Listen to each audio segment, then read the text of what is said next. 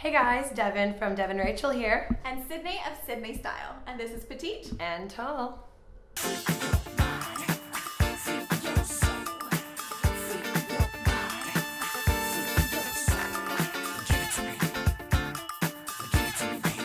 So we hope you enjoyed last week's special guest, and we're back here today, just the two of us, two. talking prints. Prints are really fun, but sometimes hard to wear. so yeah, but they're a great way to really spruce up your wardrobe in a very affordable manner. You can get prints at great price points, and you just need to know how to wear them. So, Glamazon, All right, talk to here your we go. girl.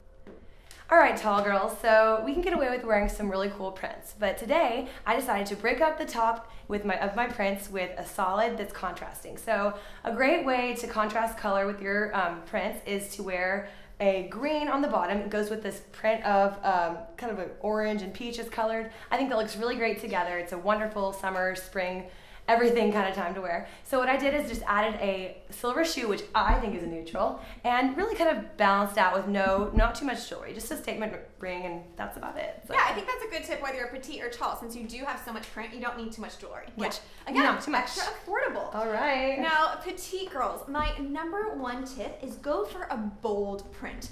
Now, I say this because even if you shop at the kids section from time to time, hey, petite girls do it. Um, you don't want people to know, so or at least think it. Um, so if you go for like a girly little floral print, it will look like you're at the little girl section. So instead, go for something bold and bright, like this island chic top that I absolutely love. And then a little tip for lengthening your body is look for vertical stripes. So you'll notice I have a vertical stripe down my shirt and then on the side of my white jeans, which really helps elongate the figure, especially when it's paired with my best friend, the stiletto. Okay, all right, great tip. So thank you, Sydne. And um, so thank you so much for watching our show.